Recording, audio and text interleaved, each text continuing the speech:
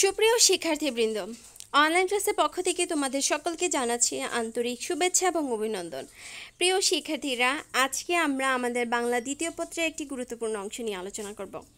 তো প্রিয় শিক্ষার্থীরা, পূর্বের ক্লাসে আমরা আমাদের বাংলা ব্যাকরণের যে ব্যাকরণিক অংশগুলো রয়েছে, সন্ধি, তারপর সন্ধির যে বিভিন্ন ধরনের নিয়মগুলো, তারপর ব্যাকরণ, কাকে বলে, এই সকল বিষয় নিয়ে আলোচনা করেছিলাম।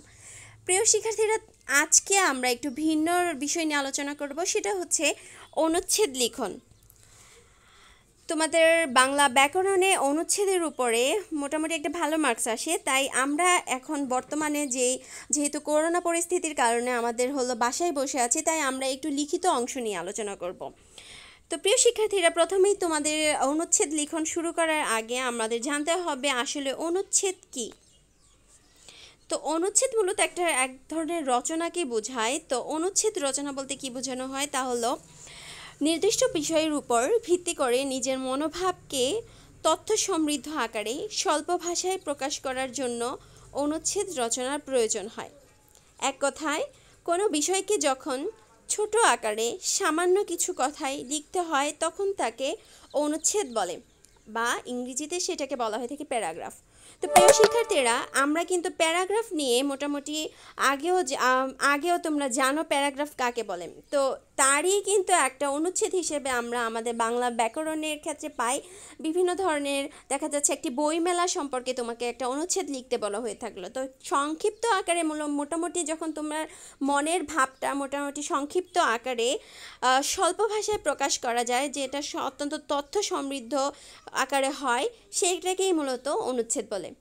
তো প্রিয় শিক্ষার্থীরা, যেহেতু আমরা এখন বর্তমানে করোনা মহামারীর কারণে বাসায় আছি, আমাদের বাসায় যেহেতু বাসায় বসে বসে সব কিছু শিখতে হচ্ছে, সেহেতু আমরা যদি আমাদের লিখিত ব্যাকরণের যে লিখিত অংশগুলো আছে, সেইগুলো শেষ করতে পারি, তাহলে মোটামুটি আমাদের সিলেবাসটাও একটু কমপ্লিট হবে।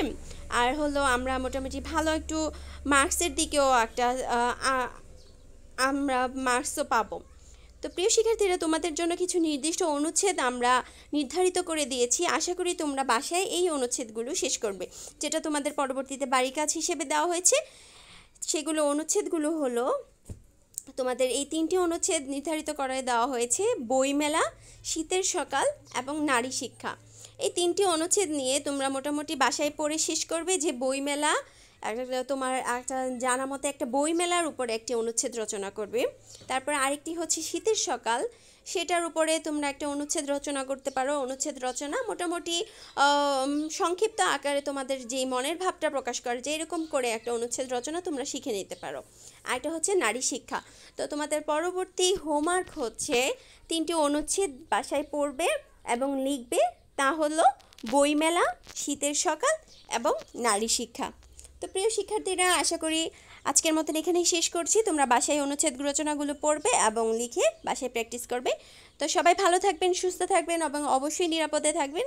সবাইকে ধন্যবাদ জানিয়ে আজকের মতো ক্লাস শেষ করছি। সবাইকে ধন্যবাদ।